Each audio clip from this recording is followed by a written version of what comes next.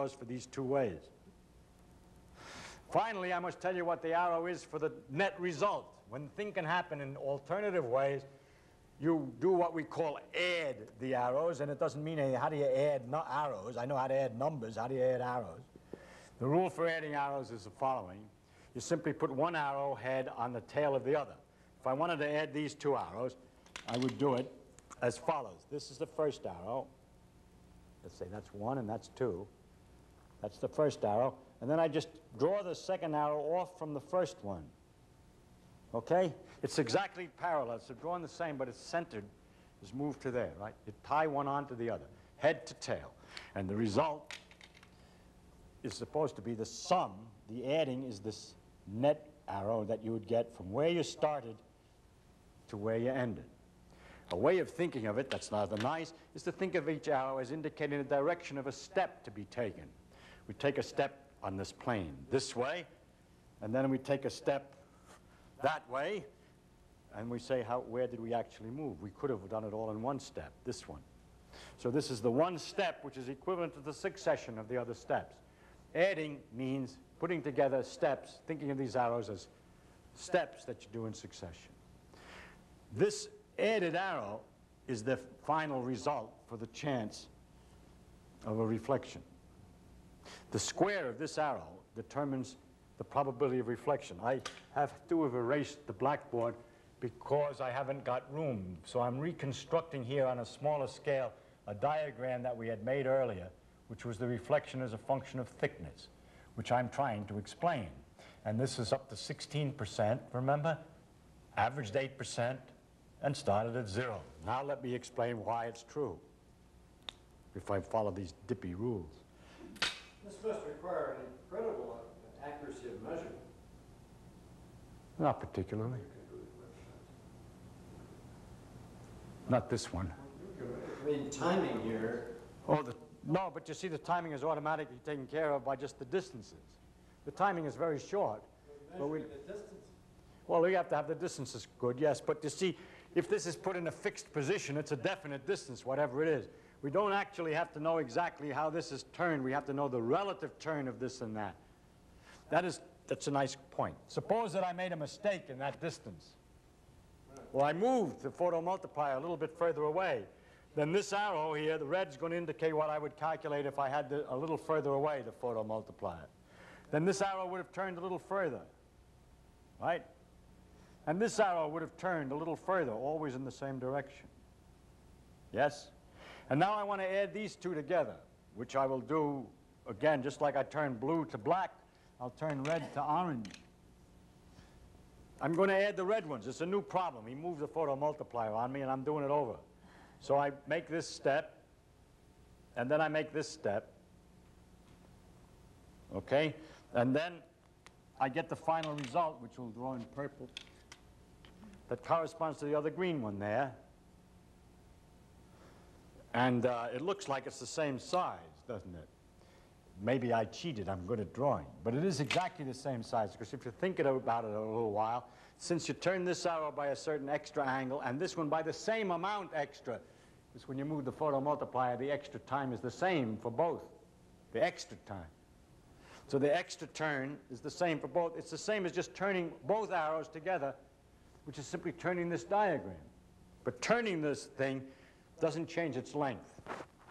And the probability that we're calculating depends only on the length. It's the square of the length. It doesn't depend on the direction. Can't you get that directly from the thickness? From the glass to the glass? Absolutely. You mean that this this angle here, this delay? Yes, yes, and we're going to do that right now. And that's exactly right. That's why you don't need the accurate measurement that you were You talking. need the distance. You don't really need that distance to get this probability because thickness of the glass of a uniform angle. Only the thickness of the glass is important in computing the length of this arrow. The direction of this arrow does in fact depend upon exactly where the photomultiplier is, but it doesn't affect the probability that you'll get a count. Because the count is measured by the length of this arrow squared. Right? So it's the scalar, not the vector.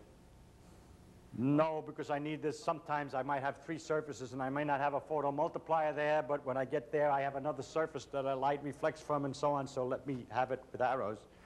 But when you finally want the probability for something, then at the end you square the arrow. For this application, it doesn't, it's the same answer here as here. Okay? But if I had, instead of putting a photomultiplier there, I had put another surface there, then the exact location of it becomes very important. Okay? It has another reflection with another photomultiplier somewhere else. It would be a different problem. But let's just do this easy problem first. Let me explain why this result would occur if these rules were right. Why, if we count the beans by this way, we get this result. Let me show you, all right?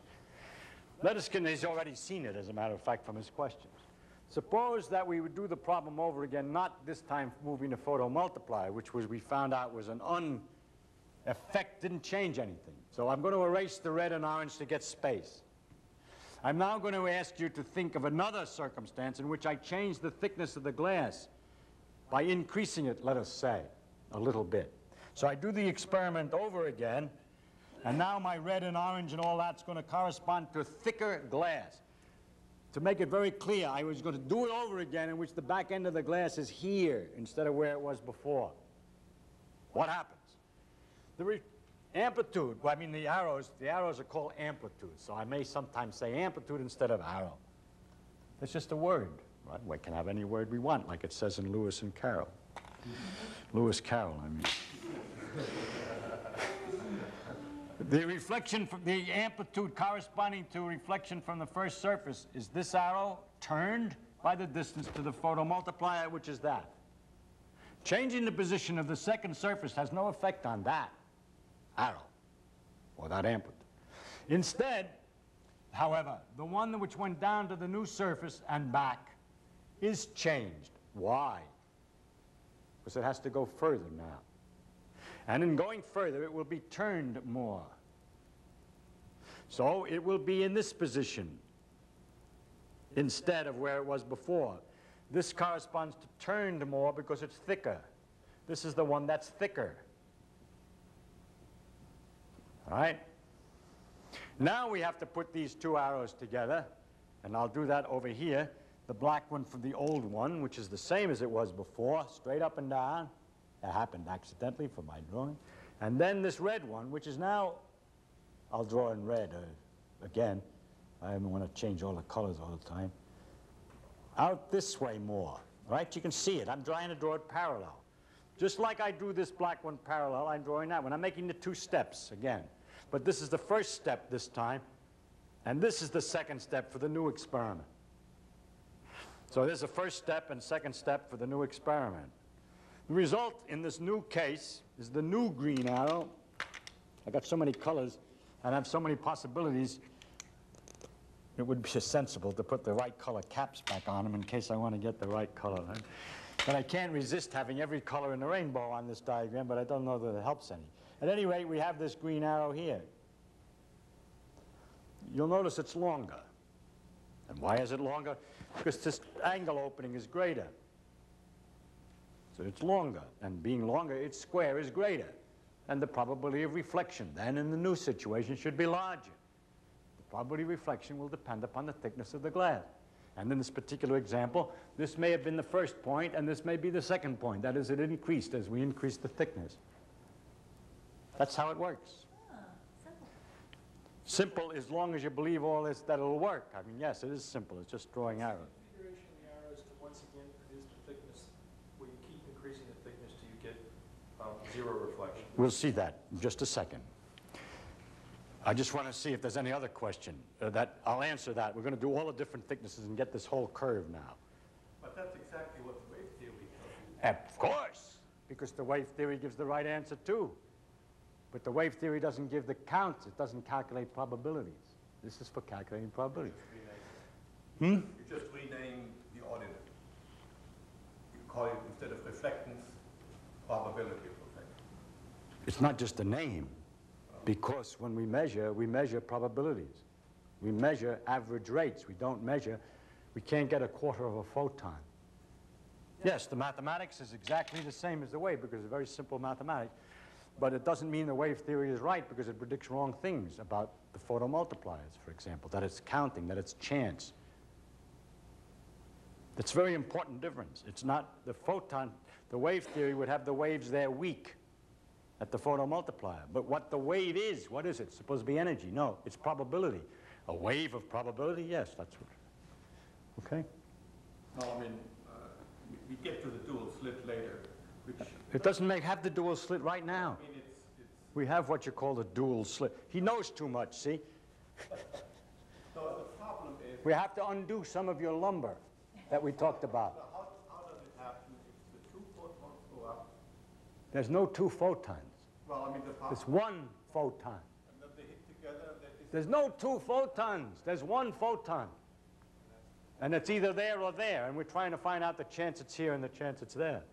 That's very important. I want you to get used to it. I know, but I mean, it still not, it's, uh, The same mathematics is the wave equation. The mathematics is the same, but instead of calculating what you call the intensity, you're computing the probability of finding a photon. The fact that you made this change of interpretation means that the pictures of the waves must be is physically incorrect. Okay, so we remove the picture and just make the calculation. That's what happened. We're not going to change the calculation because the other numbers were right.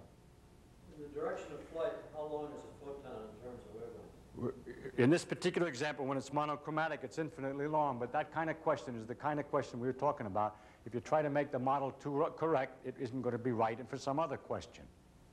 Just sit down, just follow the arrows, and then you'll get everything right. How could it be an infinite length? It would then be an infinite duration. That's right. And if it isn't infinite duration, it's not perfectly monochromatic.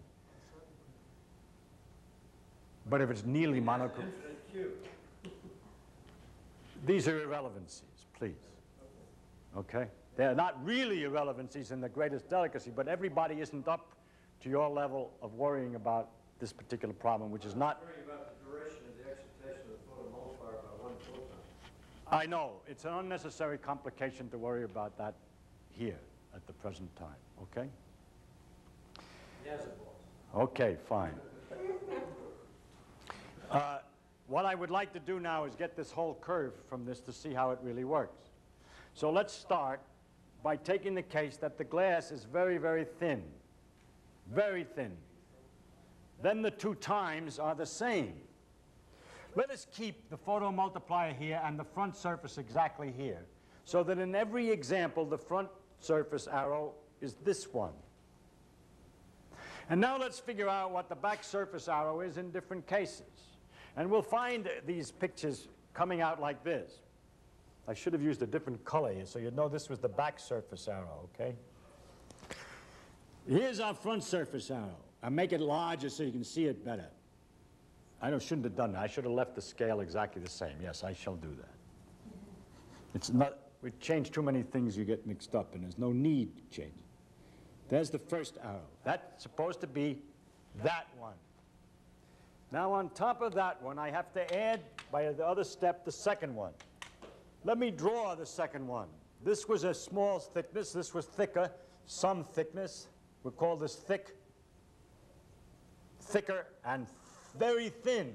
Where's very thin? We noticed that this was very close to here, they both turn the same amount. And since they started opposite, very thin would be here. That would be where it would be for very thin. I'm drawing them all on top of each other. Of course, they're all separate calculations for separate experiments, and it's a little confusing. So let's just draw it all over again for the case that it's very thin. This would look like this, same again. This one, however, would be exactly opposite. Why? Because if it's zero thickness, there's no difference in time for the front surface and the back surface. Therefore, they both turned around a billion and a half rotations. This is a half a rotation extra net, and this is a half a rotation extra net, therefore upside down. Now let's put these two steps together. First, we have the first step for the first arrow, and now we have the second step for the second arrow, which is a step back. Although I've drawn it to one side so that you can see it, it should be tied right onto there. And where do we end up? We end up right here. So let me draw it very carefully. Actually, I made it for the case that there's a tiny thickness so you can see it. Then you see that the green arrow is virtually nothing. In fact, it is zero. If it was exactly opposite, the net result of making a forward step followed by a backward step is to bring you right back where you were, is no net motion. And therefore, there's no probability of getting a reflection. That's why a very thin piece, I mean, that's in cons- consonance with the experiment that says that a very thin layer gives nothing. Now, okay, now we keep on going, and we try to imagine what happens as it gets thicker. All that's happening is that this arrow goes around and comes to here and then goes back down and goes around and so on relative to the first one. So you answered your question. You imagine what happens if you take an arrow here and then for different thicknesses, I'm going to draw it all for a succession. I'm now going to draw the result for 16 experiments in which I go here, here, here, here, here, here with different thicknesses, okay? The 16 results look like this. Maybe it isn't going to come out 16, huh? That's no thickness. There's a little thicker. More, a little more time, the case we drew before. Still thicker. These are not straight lines, unfortunately. A little, they should be. They're a little thicker, a little thicker, a little thicker, a little thicker. That's more turn, right? These are the way these things come until finally, when the thickness is just right, it's turned one whole extra revolution because of the extra time. Then it's back to this case, and it keeps going around. And how long is the green arrow? Well, the green arrow starts at zero, and then it gets a little bigger, and it gets bigger, it gets bigger for the different cases. And finally, it's way up this way. That's the biggest it's ever going to get. Then it comes down again. Ah, is it bump, bump, bump, right? And how high is it at the biggest? You may have forgotten, the original length was a fifth.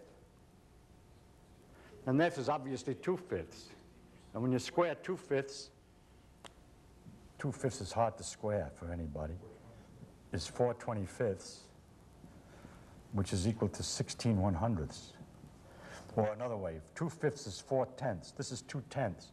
Squaring it is 4 one-hundredths, which is 4%. Twice it is 4 tenths. Squaring is 16 one-hundredths, which is 16%, which is okay. And that's how it works. It goes up to 16, comes down, and so forth, depending upon how thick the glass is. And this will keep on going as you keep on making the glass thicker and thicker. It's been measured to, I said something like tens or hundreds of millions of rotations. Is this independent of the index of refraction of the glass? No. The time to light to go through glass is different than the time to go through air. It goes through the glass slower and takes longer to go the same distance as it would for air. So that when I calculate this turn, I have to allow that this, when I'm calculating this extra time, I must be careful to realize that it's not going at the full speed in the glass, but slower. So that's just to change it, those angles, but doesn't change the result that I got in the picture. Okay? That's why you said earlier that you should pay attention to the time rather than the distance.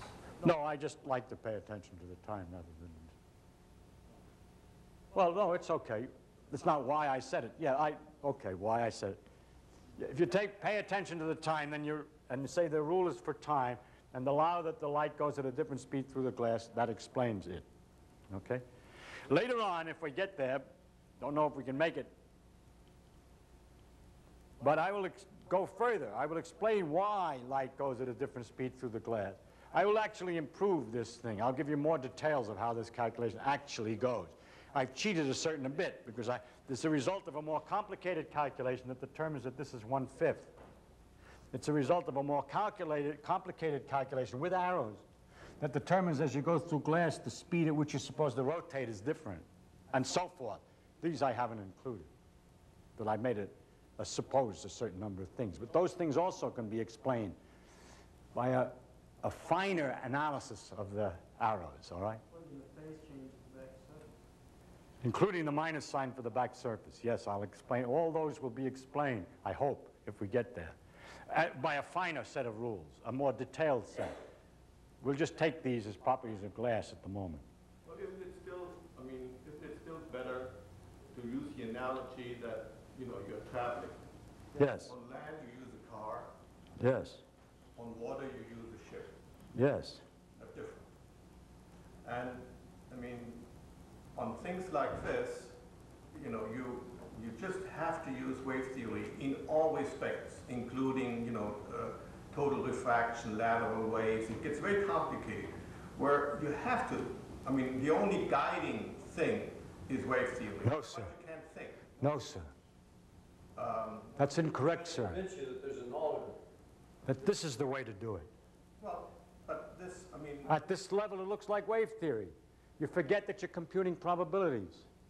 That's not right, according to wave theory. And we'll show you circumstances in which the wave theory doesn't work. We had one with the two boxes. If you have problems in which you have two photons, which are correlated in their properties, the wave theory is unsuccessful. Yeah, But it doesn't help me. It only Doesn't help you to do this, you mean. problem as soon as I put a photomultiplier there because that works by the But you haven't done any problems with two photons that are correlated. That's nonlinear optics problems, for example. having a problem in You haven't done them, therefore you don't appreciate. Okay, so because you have a limited range of experience in which you work, you might find that some other model is sufficiently successful that you don't have to do it this way. What I'm trying to show you is a model which was works, ultimately, over the entire range of experience that man has been able to find, not just over the limited range of experience for your particular experiments, okay? It has always been this way, that for a particular range of experiments, a certain idea may be a good, good enough approximation and complete enough because you don't do those experiments which get you into trouble with it. And then it may be much easier on the head, if you like, to use that model. It's much more easy to imagine the ways moving in space and so on. But you will, if you wanted to do a wider range of experiment, get into trouble if you perpetually thought that way. I guarantee you. But still, you- pretty out by what you have today, you know, might be changed tomorrow. That's true, because we have no experiment. So the current universal model Right. is only a temporary model. Oh, perhaps. And um, so, But why do I go back to your temporary model, which I know is wrong in certain circumstances? from that I know where to use it, where I, that's perfectly all right, sure. But that's not what I'm lecturing about. I'm lecturing about the physical view over a wider range than your particular experiences. And so I want to tell all that we know, not some approximation which works in part of nature, okay? So that's the reason I'm Also, doing it. something else that's very important, which is to prove that this, that this sort of crazy way of looking at it reproduces all your results perfectly well, which is what you have to do when you invent a new theory. We have to show that it produces some results that he doesn't know about, too, such as the two photon correlations that, that were the, those boxes in the beginning. Well, then you get into line spectra and all kinds of things the wave theory falls on. There's lots of difficulties with it. It's got mostly to do with probabilities. That, that you can't interpret the wave as a probability. And all it really is is that the wave is interpreted as a probability instead of as an intensity in first approximation with one photon. When there are photon correlations, it has to be done with arrows. Okay? A little stretch, Sure. is that okay now? Well, of course. Yeah, I like a stretch. Yeah, like there's a staff that can possibly do that. So you say your wave of probability is sea of arrows? Yes. right. If we have uh, more surfaces, well, let's see, what should I describe next? We appreciate the plus. No. I would like to talk about what happens if there are more surfaces, all right? If there are more surfaces. For example, if I had a layer of glass here and then of air, much like you like to make, and then we would have another layer of, let's say, glass of a certain thickness, something like that. Maybe not the same thickness as this one. Well, let's erase the red line to make the picture a little easier. But We have thicknesses, four of them. Then what happens is that we would make four ways that the light could go, if you imagined it. Uh, we could say it goes first surface, second surface, third surface, and fourth surface. And then we would have an arrow for the first surface case, an arrow for the second. If these were different materials, they weren't both glass, they may not be the same length of arrow. Some other arrow for the third, excuse me, I made it wrong. An arrow from the first surface, an arrow from the second surface, another arrow, let's say it's bigger, let's say it's a thicker glass, I mean, uh, different kind of glass, lead glass, so it's not one-fifth, it's a little bit bigger. This is the third surface, and this might be the fourth surface. How do you put them together? You consider them, you add them, again with the word add. We use the word add, but what we mean is we find out what the net result would be of the sequence of steps. In other words, we try to find out where we would end up if we made a series of steps, this step followed by that step, followed by that step. And the easy way to do that geometrically is to draw one and then draw the next one on the end of that, that's number two. And then number three on that. I didn't draw it quite at the right ang- correct angle. And then number four. And then the net result for the probability would be the square of this length. In other words, the area of a square set on that arrowhead. That would be the answer. So when we have any numbers of surfaces, all we do is figure out the arrow corresponding to each one and tie them together by what we call addition, which is really seeing what happens if you do a sequence of steps corresponding to those arrows in succession. An interesting point about adding, which is fun, with numbers, it's true that 5 plus 4 is the same as 4 plus 5, and it doesn't make any difference in what order I add them. If you play with this a little bit, you'll discover that if you make a series of steps of different lengths and angles, you'll get to exactly the same place without, what, no matter what order you make the steps in. If you made a big step this way, followed by a small step that way, you get to here. Whereas if I made a small step that way first, and then the big step, I get to the same place. And it'll turn out, if you play a little bit, that if you tied arrows on each other's ends, but kept the same arrows, but tied them in different order, it'll come to the same answer. So this addition also has that property. It doesn't make any difference. You don't have to decide which is first and which is second when you're adding these things together, okay? You just put them together, and it'll work whichever order you choose. Now I would like to describe the language we use to describe this, right? We call the arrows, actually, a physicist calls an arrow an amplitude. He actually more completely sometimes called a probability amplitude. All it means is a quantity, which one squared, or rather, which one you find the area of the square corresponding to the arrow, is a probability. The word probability amplitude is just, I could have better say probability arrow. What I mean is that the, uh, you use the arrow to find the probability by figuring out how big an area of a square on it is. So these could be called probability arrows. Actually, technically, these arrows are called amplitudes. It's just another word for these arrows, right? No complication. I would like to use the word amplitude because I'm so used to it.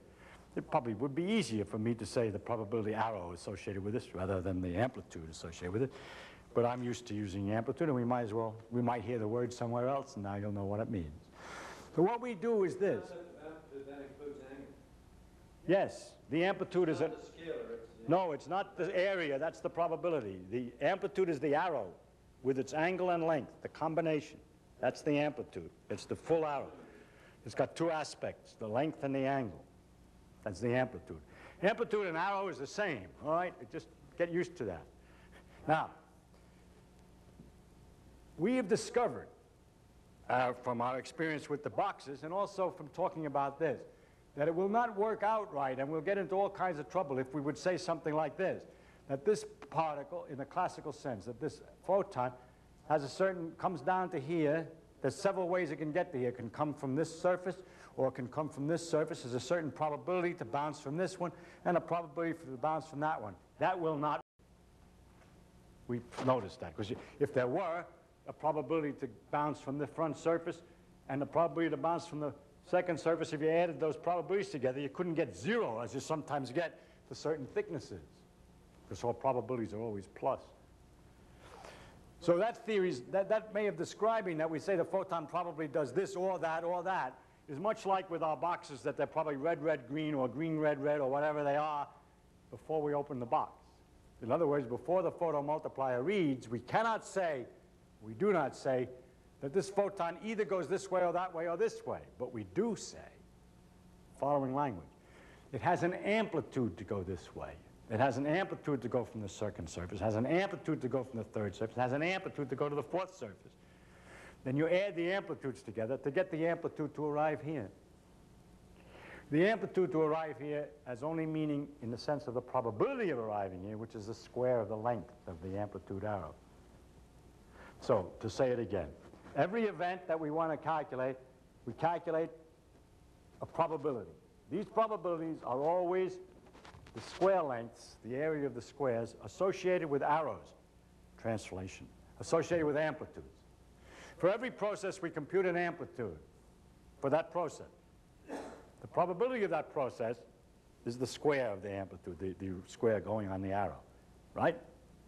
The amplitude for a process which can happen in several alternative ways in your imagination is simply the sum of the amplitudes for each of the individual waves. In other words, the arrows, total arrow is the sum of the arrows for each of the waves.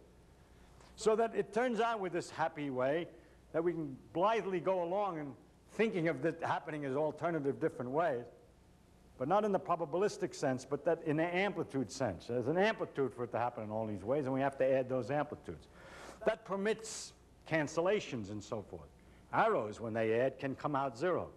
Probabilities can't. You can't add two positive numbers, two chances, and get nothing. So, uh, but with arrows you can. So what we, the language we use is to say that there's amplitudes for different possibilities, and to find out whether it's actually happening, with what chance it happens, we have to, in the end, when we know the amplitude, find the square area that belongs to that amplitude, that arrow. Right? That square area has no direction, right? No, it's just a, a way of my describing just squaring the length.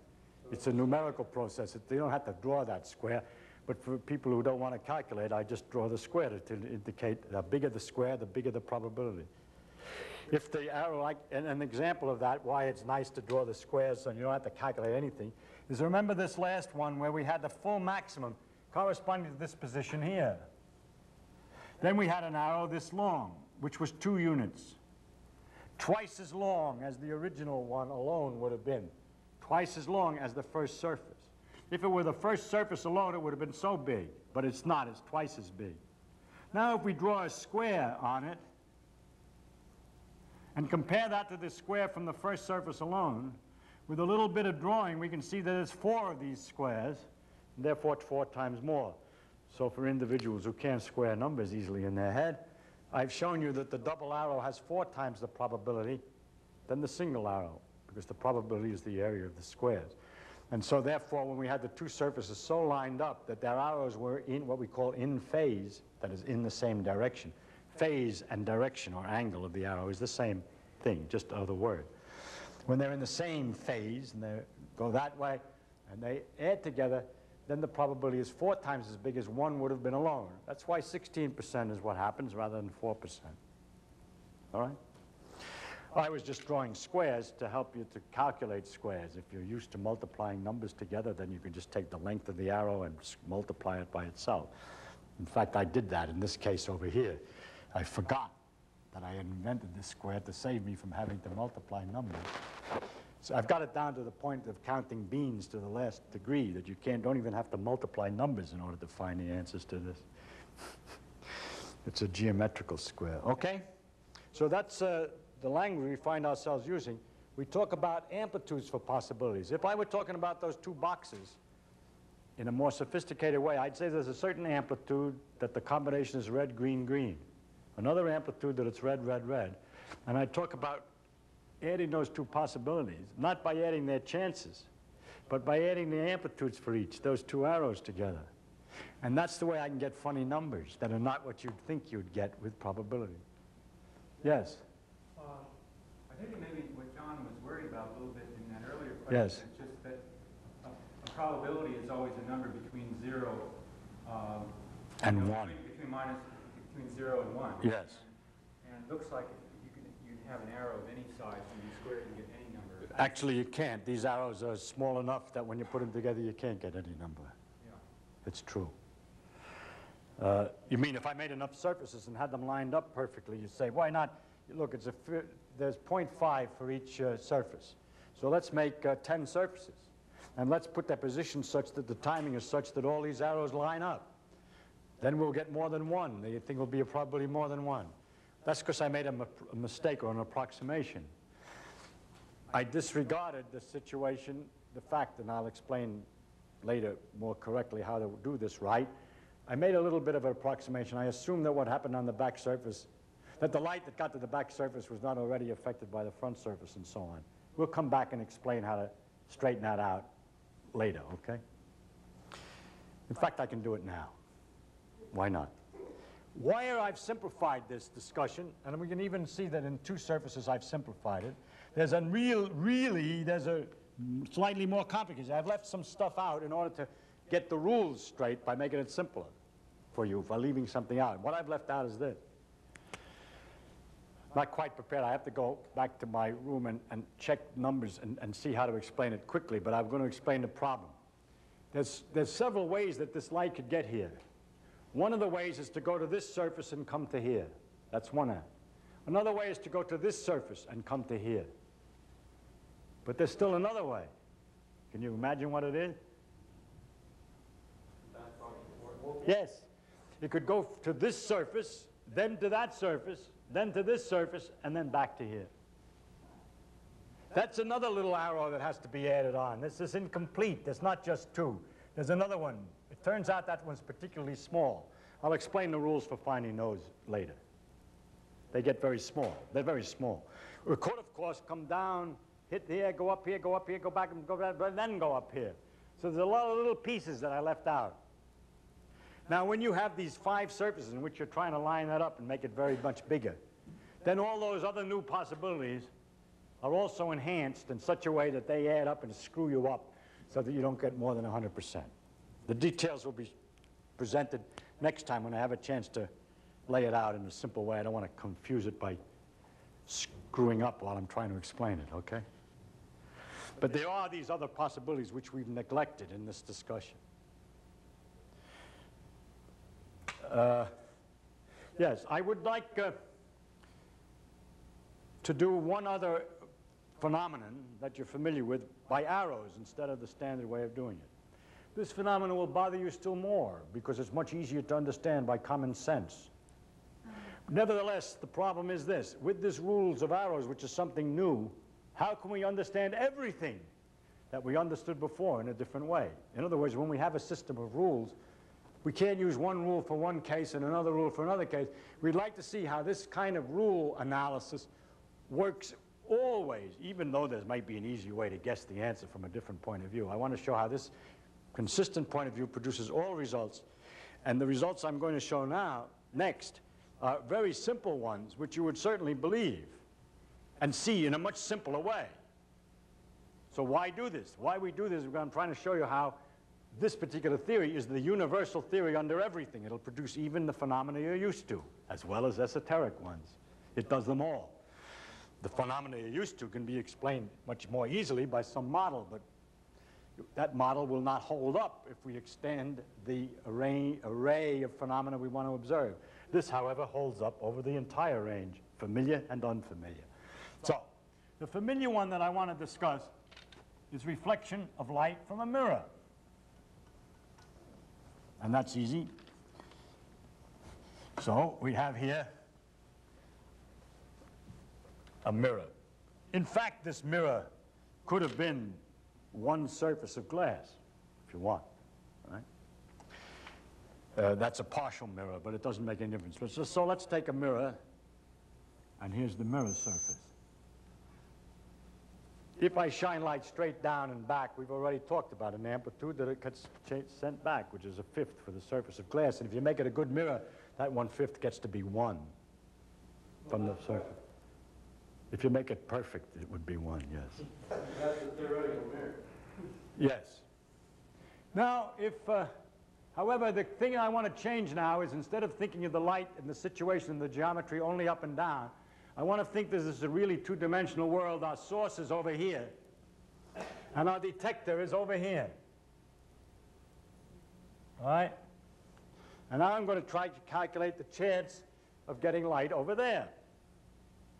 But what I want ultimately to understand is what everybody knows, is that the light goes, it hits the mirror and goes to there such that the angles are equal. It goes, the light goes this way and then comes to here such that the angles are equal. I never made a rule about angles being equal. I talked about arrows. Where the hell are the angles equal? Now I show you, all right? Magic way in which the arrows produce this result. You know what I'm talking about. You, if for this example, if your eye was here, you would see this in the mirror at this location. Actually, it would appear to be back here, the optical effect. It appears to be, an image appears over here, which is simply the same distance behind the mirror as the actual object is in front. So the eye looking at it sees it here as if the light came from here, but actually it comes from here. And if you figure it out, this angle equals this. Reason is, by the way, if you remember elementary geometry, that if you were to draw it to that image, not the reason is, but imaging works because, you see, when you have elementary geometry, these two lines make the same angle coming this way as they do going out the other way. This angle here is the same as that. But because of the way I've drawn this symmetrically, this angle here is also the same as that. And these two are equal. That's the standard description. It doesn't look very equal on my drawings, but uh, that's supposed to be equal. I would like to explain why that is, okay, from this point of view of arrowing. So I'm going to try to discuss this. And here's how you say, why does it go only there? Well, it's very amusing and very interesting to see how it works. I'm going to do it this way. I'm going to suppose the light goes straight through the air. We'll later discover even that can be explained. We've been assuming that, but we'll take that. But let's suppose we don't know that light has to be reflected here. And we would just say, for purposes of analysis, that we divide this mirror into very tiny sections, little spot, little pieces of mirror, okay? Bip, bip, bip, just to think.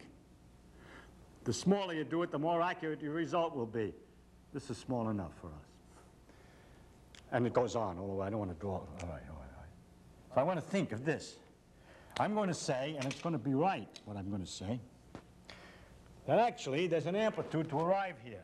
I'm going to calculate the amplitude that a photon arrives, which you can do in many ways. One way that the photon may have gotten there is to go down this way and go across to here. Right? Not very likely. I know it's equal angle. Shut up. It's possible. It doesn't know anything about that. Another way, I'll draw in purple so you can see it's another way. It could have gone to another spot and gone to there. It's still what the right thing. It could go to still another spot. I love these colors. Let's say it goes to the spot way over here and goes to the photomultiplier. Yeah, right. And by the way, there's still another way it could go. It could go straight to here without going to the mirror at all. That produces very funny effects, as a matter of fact, but we'll put a wall in here or something to stop that light. So let's imagine that this is specially built, that there's a wall in here, so that we don't have to consider the light that doesn't hit the mirror. All right? Uh, this, of course, was one of those spots. Because of my laziness, I haven't drawn enough of these uh, dots in here. Now, Is this a point source? yeah, and a point, it's a very tiny detector. Uh, there is the one we're looking for. Let's say this is the one of equal angles. That's in there too. That's this one. All different, well, I'm sorry, I shouldn't have bent that line. Okay, let's say that there's this one. That's the right one, we'll suppose. Okay? But every one of them is there, and every one contributes an amplitude, a small amplitude because it's a very tiny section, a little tiny arrow. And I'm going to add all the arrows together, and I'm going to show you, like a magician, how it works, how the mirror works. I'm going to add every one of these cases, each is equal. Each one of these things is the same width, and although the distances are varying somewhat, they're almost equal in their contributions. Every one of these is equally important. So let's start to draw the arrow. I draw the arrow for this one, a tiny little arrow at some particular crazy angle that depends upon the total time to go from here to here. In fact, just for fun, well, no, it's too silly to draw the blue one and the purple one and the black one as arrows. But, okay, this, the blue one is looking to look like this, see, the arrow contribution from the blue one. Now the purple one has about the same width and some slight difference in distances, and I'll give you the rules for those arrows, but it comes out almost the same size. However, the time is very different. Because the time it takes to go from here to here and the time it takes to go from here to here are not the same because if you count, well, let's take it's perfectly clear that this distance total is longer than that distance, for instance. They're different distances. Therefore, they're different times. So all these arrows that I'm going to draw, the purple one, the black one, and the green one, they all correspond to arrows in some crazy directions, depending upon the time, all right? And I have to put them all on top of each other. Not just these, I also have to put all the ones in between. Okay, so it's a big calculation, adding thousands of arrows together by tying them one to the other. Remember how to do it. You make the succession of steps. Then, okay, now we're going to do that. I hope I have time. Yes, I do have time. We're going to do that. In order to do that, we have to know at what angle to turn the arrows. That angle is the total time taken to go. And the total time taken to go is, of course, the distance divided by the speed of light. And so what I need for each of the arrows is an arrow associated with this spot, this spot, this spot, this spot, sp- this spot, and so on. In order to figure out at what angle to draw it, I have to know how long it takes or how far it is. Okay? So let me make a little diagram or a plot, a graph of how far, how much distance it is, or time. It's the same for us because it's all through air. And it's going this way. And this axis is supposed to really be exactly corresponding to each one of these. In other words, for this particular spot here, I calculate the distances there. For this particular spot here, I should do it in purple, but it takes too long to keep picking up the different colors. So this one here, this turns out is somewhat shorter. Uh, this one here, maybe even shorter. After a while, it's getting long again. As a matter of fact, you can appreciate the one that goes straight down, and if this is symmet- there's some kind of symmetry, if I happen to have them at the same level, that there'd be some symmetry, go up again. At any rate, the distances, or the time, which is equivalent, because we haven't said what the scale is on the axis, there's a curve which goes down to some lowest value and goes up. Unlike my drawing, they should have gone through these dots, so I should have put those dots there, move the dots. but you know what this means then, and these are a whole lot of little dots corresponding to the time for each of these places. And there's some place in the middle there somewhere where the time is shortest, and then it begins to increase again. Are there any questions about what that curve is and why it looks that way? Because it's important to appreciate that. I'm not sure where you, where you're getting the distances from. What does that first point Good. This point, point corresponds simply to the total of this length and that length. The total distance to go from here to here and from here to here. So it's a summation of, All it is is a summation of those two lines. As a matter of fact, it could be constructed geometrically that way. You can go home tonight and draw a, a, a horizontal and two points, and on the horizontal lay out dots, and draw these things, and then lay them out, measure them, and then measure this height here should be equal to the total of these two blues. Actually, I don't have room to draw, so the scale is different. uh, Okay? And you'll discover that there's some distance at which the time is shortest, and then it goes up again. The only thing that really counts in this curve for us are the dots, one corresponding to each one of these little sections. Of course, we can make the sections very fine, have lots and lots of dots if you want to. Now, that little piece of that other curve that you did, the big up and down curve? no, this is entirely different because we're plotting something else. We're plotting the distance to go at different points, and that's not to do with the intensity of light from the other. It's a different problem, and it's a different quantity, and so the axis here is position of the mirror rather than wavelength, and it's entirely different, okay? Okay, now with that, we, this tells us how to draw our arrows, yes? Because it tells us at what angle to draw the arrows. So I'm going to call these number one, number two, number three, number four, number five, number six, and so forth. And I'm going to draw the arrows corresponding to each one. So I don't know where it comes out, but number one, say, comes out this way. And number two is a different time, quite a different time. Maybe more, less times, less times. I at least should do that right.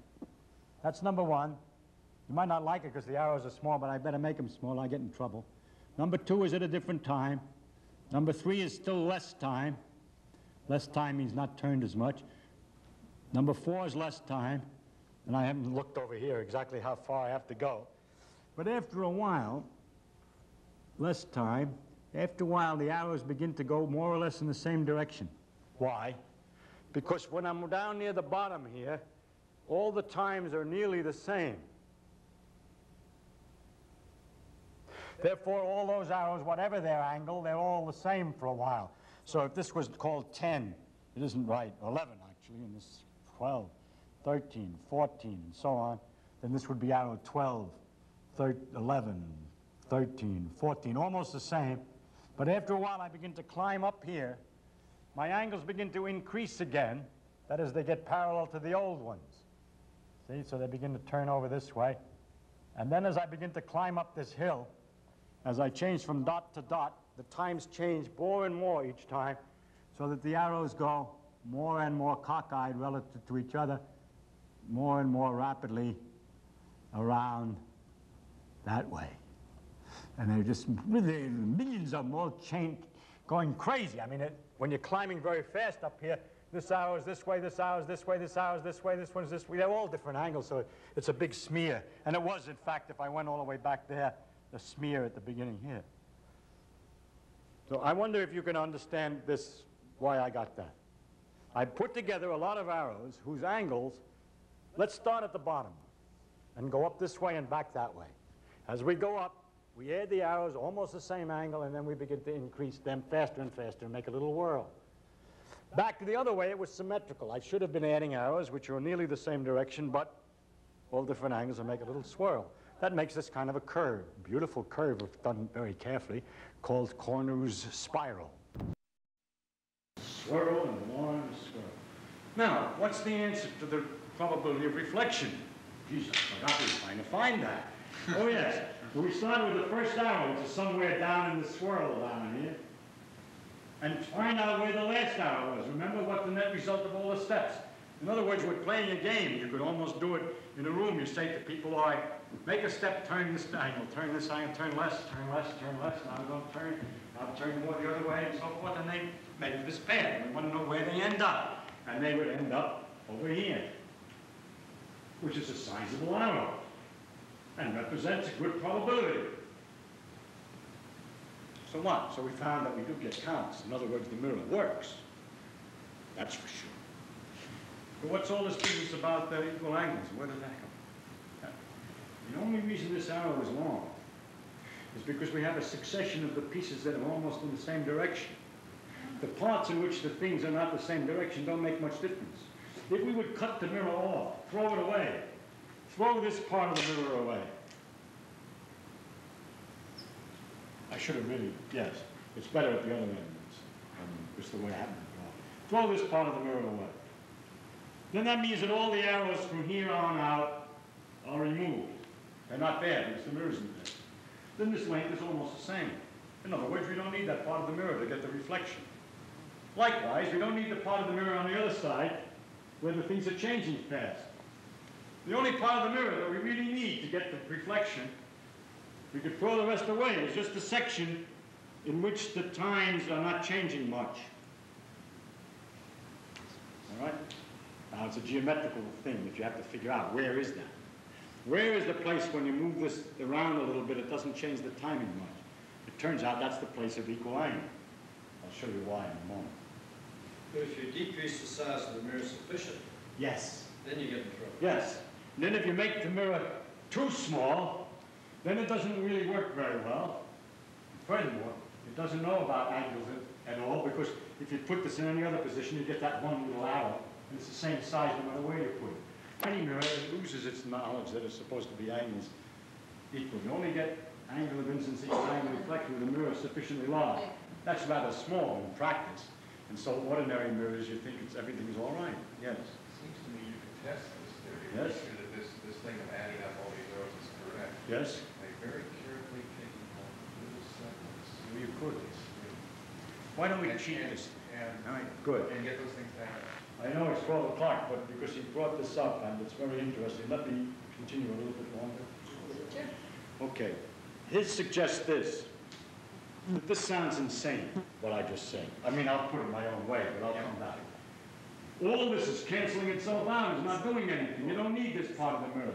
What I say from this crazy theory that I'm talking about is really kind of nutsy. I have a whole part of the mirror which I compute a whole lot of little arrows and it's happening, and the net result is nothing happens from that part of the mirror at all. It must be a myth that this stuff is happening. Why do I have to include all that junk? Right? Why do I have to add all those arrows which cancel out? They don't add up to anything anyway. I don't believe it. I don't believe that that really is reflected. But he says we're going to check it by a trick. The trick is the following. I think his idea is the following. Something like this. When you make the arrows, let's say down around in here, some of them pointing this way, and some of them are pointing this way, and some of them are pointing that way. For example, as we go along from one point might be this way, the next point this way, the next point that way, the next point that way, and so on, right? Why? And then it comes around and goes around again this way, and it doesn't get anywhere. So he says, remove the mirror in just those places where the contributions would be going backwards. In other words, throw away the ones that are going backwards, just add the ones that are going forward. As soon as an angle gets like they're getting ready to go backwards, erase the mirror, take them out. Take out the middle too, also. Just take out the middle. No, just take those out of the Okay. six, where it's going the wrong angle. And then the V's are not there. Uh-huh. So it doesn't come back. You remove. Then they begin to be the right direction again as they're coming around. Let those be back in, so oh, we go this way for a while. As Soon as it starts to go this way, remove them. How? By just erasing the mirror. What would happen if I carefully figured out which ones were giving arrows generally in this direction in that general direction, if they have a component, so to speak, in that direction, the step is, although not precisely the direction I want, is less forward, I allow it. And when I calculate one that's pointing the wrong way, I simply erase the mirror, make a hole in the mirror in certain places, holes. Well, then there's a place you allow it, and there's a hole, then there's allowed, and there's holes. Well, the holes are made so that this will never back up. And then the result would be that we would get a very nice thing, and we would go blip, blip, blip, blip, blip, these are the sums of these arrows. And then it would go straight for a while, and then go blip, blip, blip, blip, and we get a very strong and beautiful reflection. Even stronger than if the whole mirror mirror's there, it would appear, and that works. You can do that, and it works. In fact, as he said, you can even do this so well that you can forget the whole, this part of the mirror. Let me, that's a good way to think of it. Let me take two more minutes and explain the same idea over again, but even more dramatically. Yeah, let's suppose that somebody said, forget this mirror, it's not even there. What happens then? I have a mirror that's only so long, okay? I go back and I analyze, thanks, I forgot to do it that way. That's the nicest way to do it. I have a mirror only so long. Then in that mirror, all the arrows are just like this. They're adding, and then they go around fast. Everyone is different, because what I'm done is I'm only used this part of the curve. I never got to the place where they're all the same direction. So they're all different directions, You're going all over the place. So we get this thing going around, going around, going around, and it doesn't get very far from the beginning. The biggest it can get from the beginning is some short distance across here. There's not very much reflection from that. It all cancels out.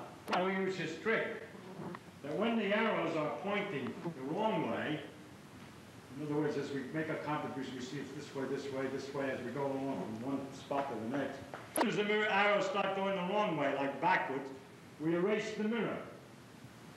So what we end, end up with is a sex series of only the positive arrows, and are therefore able to get a reflection from a mirror which would ordinarily not reflect. If the whole mirror was there, it would not come any light, very little light would come there, because it cancels out.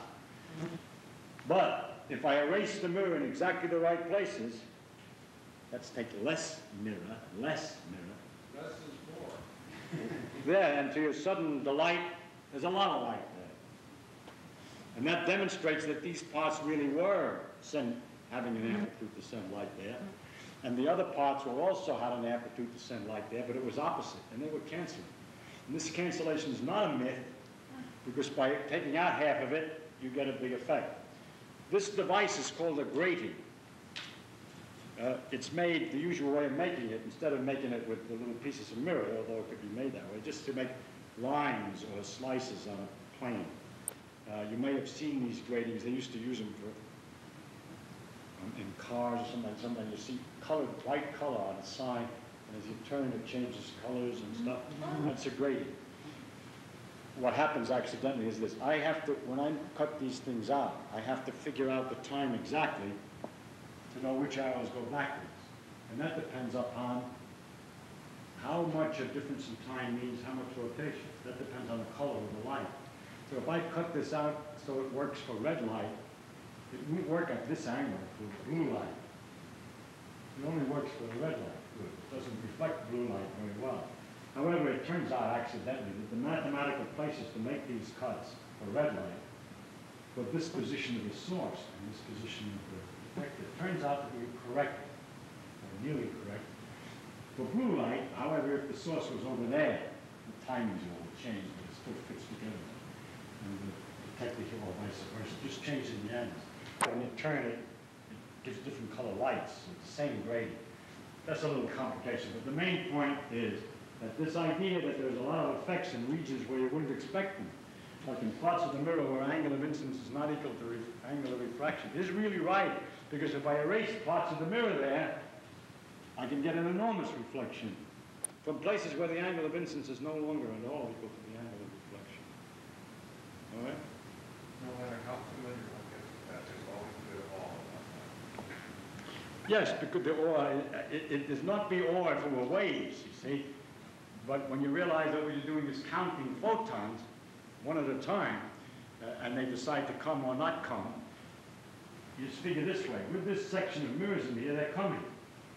How in the hell, by putting more mirror in there, can I stop them from coming? But that's what happens. You get counts the holes, try to fill up the hole, and you get no counts. Say, what's that doing? And furthermore, if, if you had that little thing, suppose you had a little mirror section, pieces, the pieces that you took out, you put on another glass plate. So you could, so to speak, bring them up and take them away. But if you take them away first, you get a lot of light. Lots of photons are coming. Bring them up, it would be easier for the photons. There's more places to reflect, and nothing comes. Then take away the blacks and leave just the greens, and you get lots of light. To both together, nothing. How does that magic work? The blacks making an arrow this way. The greens were all contributing this way. When I have them both, the net arrow is nothing.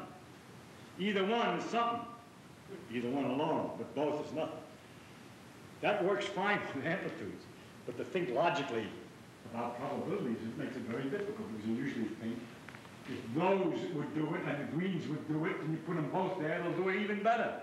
So, uh, we can add amplitudes instead of adding probabilities. That, that is illegal. But adding probabilities is the wrong way to do it. You have to add the arrows first and then make the square. Why? I don't know. Nature works that way.